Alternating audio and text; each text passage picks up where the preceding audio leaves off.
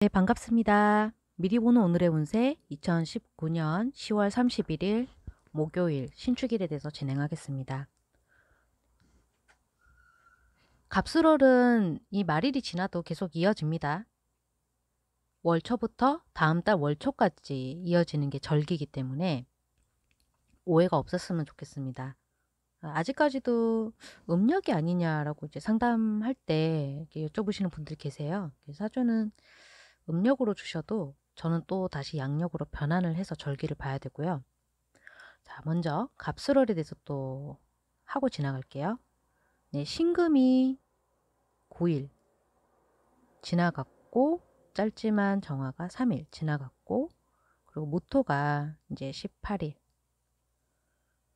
저희는 이 무토 기간을 현재 지나고 있습니다. 그리고 운세는요. 이거 정확하지 않는 게 원래 정상이에요. 맞는 것도 있고 틀린 것도 있기 때문에 잘 부탁드리겠습니다. 사주는 30%만 참고하세요.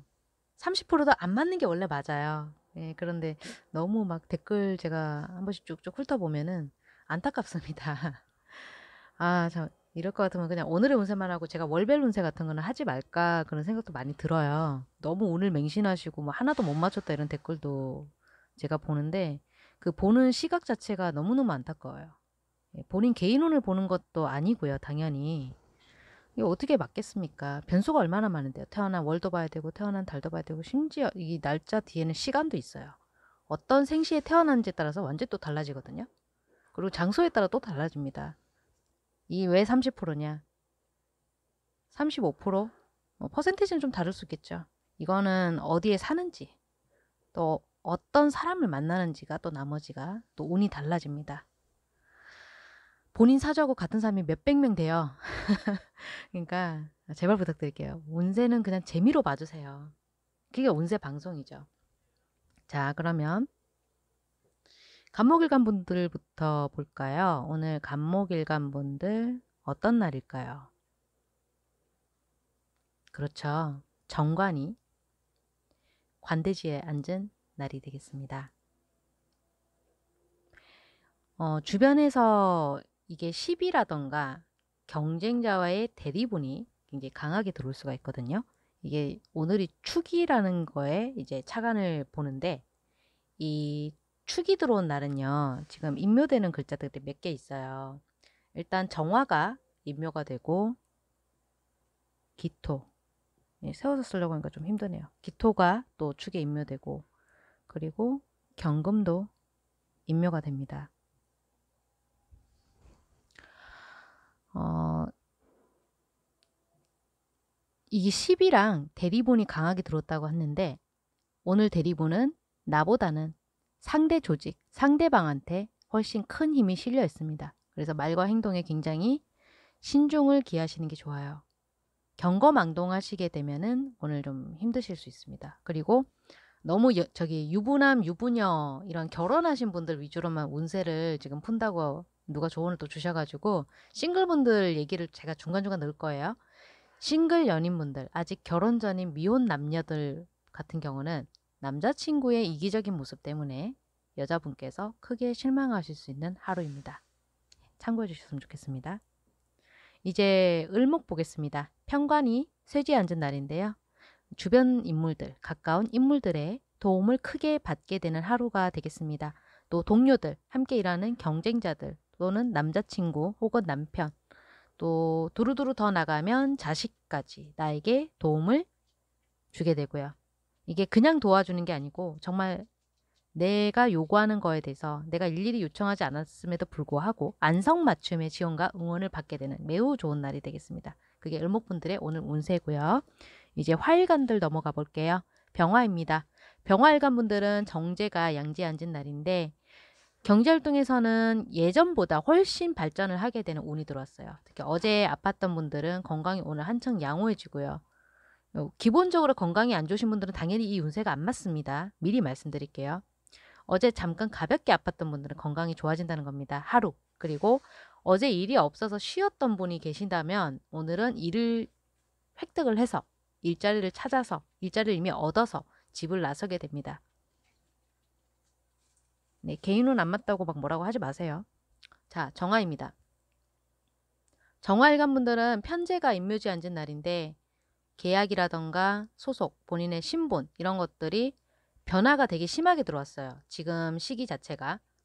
예, 변화가 안 된 분들은 내년 초까지 변화가 될 겁니다. 네, 이게 변, 번복이 될 수 있어요. 변화는 될 건데 결정됐던 일이 다시 틀어지고 또 본인의 의지와는 달리 소속 변경되는 이런 큰 업무 관련 일들이 변동이 내 마음처럼 안 돼요. 내가 원하는 방향 A 방향이었는데 전혀 다른 B 방향으로 갈 수 있다는 거죠. 그리고 싱글분들, 특히 남자, 여자, 아직 결혼 전인 분들, 이성 친구의 연락 두절, 그리고 맹목적인 잠수 현상들이 일어날 수 있습니다. 핸드폰 연결 안 되고 없는 번호라고 뜨고 차단당하고 카카오톡 같은 경우 좀 화가 날 일이 생길 수 있어요. 이성 간에는. 아직 연애 중이신 분들은 참고 부탁드릴게요. 그리고 무토 보겠습니다. 무토분들은 상관이 양지에 앉은 날인데 회사 조직에서는 본인이 굉장히 긍정적인 평가를 받을 수 있습니다. 업무 방향 자체가 긍정적이고 발전적이고요. 본인의 말과 행동에 힘이 실립니다. 그래서 협업과 설득에 매우 매우 유리한 하루고요. 업무 협조에서도 본인이 원하던 목표, 원하던 협의 이런 것들을 쉽게 얻어낼 수 있는 날입니다. 거래처의 어떤 미팅, 바이어와의 어떤 협의, 뭐 화상회의 이런 것들도 굉장히 유리한 날이 되겠죠. 그래서 빛이 나는 날입니다. 오늘은. 이제 기토 볼까요? 기토일간은 오늘 식신이 올라왔죠. 식신이 임묘지 앉은 날인데 아이를 키우시는 분들은 오늘 아이가 내 마음대로 할 수 없는 존재라는 것을 두 눈으로 똑똑히 확인할 수 있는 날이 되겠습니다. 굉장히 자식이 게으르고요. 또 이기적입니다. 그걸 진짜 몸소 확인할 수 있게 되는 날이고요. 또 싱글기토 일간 분들 오늘 쇼핑에 빠질 수 있습니다. 지름의 신이 강림을 하셨고요. 상대방 이성한테 고백한다던가 표현이 잘 안 돼가지고요.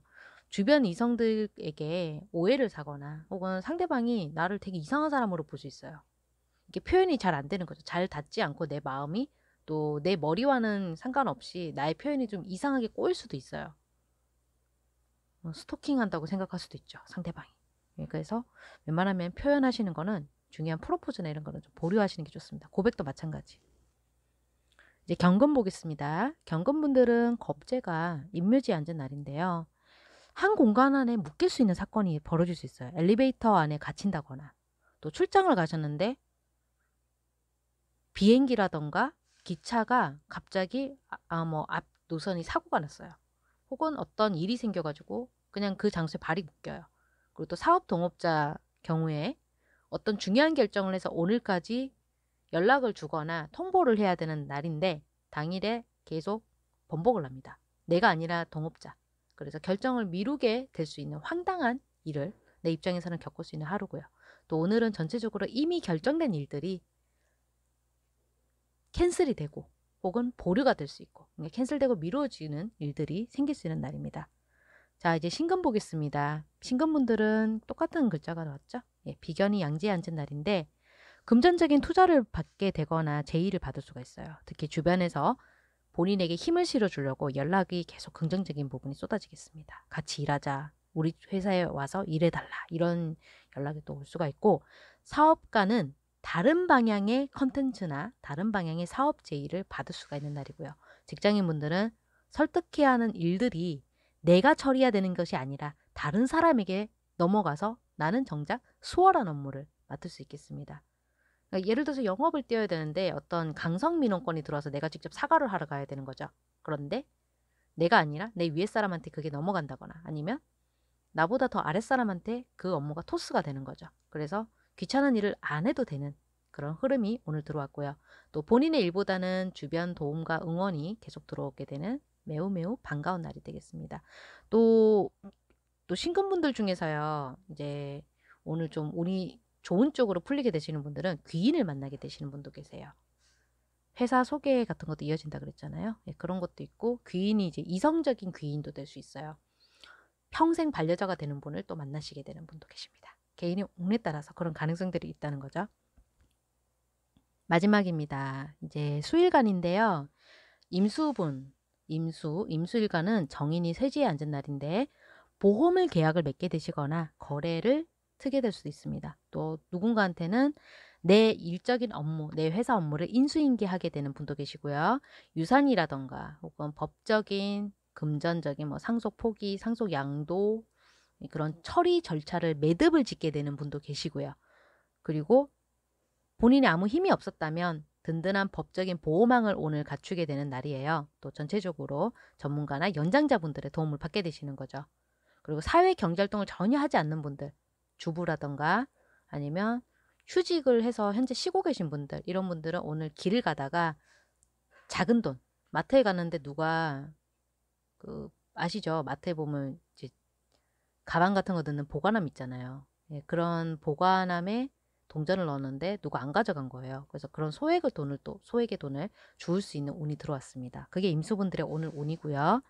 마지막이죠. 개수 보겠습니다. 개수분들은 편인이 관대지 앉은 날인데요. 전체적으로는 인간관계, 또 학업, 업무 관련해서 너무 욕심이 많이 생기는 거예요. 오늘따라. 그래서 의욕만 앞서고 정작 결과가 없습니다. 결과가 흐지부지 될 수가 있어요. 주변에서 도와주려고는 합니다. 그런데 너무 많이 도와주려고 해요. 사공이 많아서 배가 산으로 갑니다. 일의 순서를 그르칠 수가 있습니다. 순서가 엉망되죠. 뒤죽박죽 될 수 있어요. 또 본인은 신중을 기하려고 했는데 이것저것 시행착오가 생깁니다. 10분 만에 처리할 수 있는 일이 나의 판단 미스로 인해서 1시간 가까이 더 지연이 될 수 있고 2중, 3중고를 겪을 수 있는 굉장히 난감한 하루가 될 수 있습니다. 그러니 애초에 그냥 전문가에게 맡기는 것도 개운법 중에 하나가 되겠습니다. 자, 이렇게 전체적으로 일간 운세를 또 진행을 해봤고요. 저는 또 11월 1일 운세 영상 찍을 때 뵙도록 하겠습니다. 영상 봐주셔서 너무 감사드립니다. 고맙습니다.